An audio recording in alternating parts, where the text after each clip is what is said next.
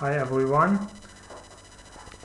That is the original voice recorder of Buran and I like to to find out what is on that voice recorder actually.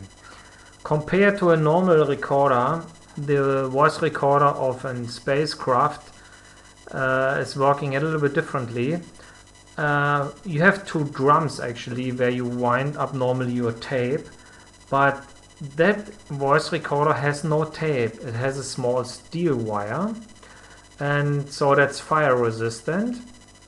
And here you have two magnetic heads and with the magnetic heads of course you record all the voices in an aircraft or spacecraft so to get the the voice back on my computer I have to wind up first the wheels.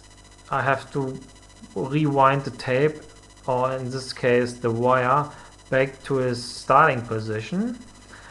And that's not really easy actually because normally that recorder is not built to rewind the cable so I have to find some solutions how I get the wire from one drum to the other drum.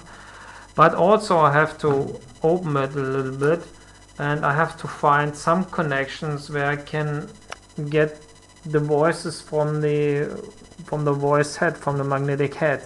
So that's how it looks like from inside.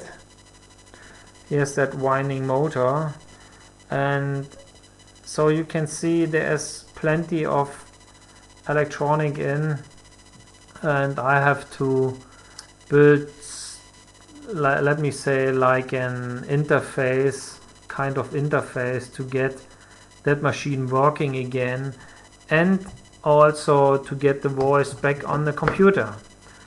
So I like to invite you for that small experiment and so we will see what comes up.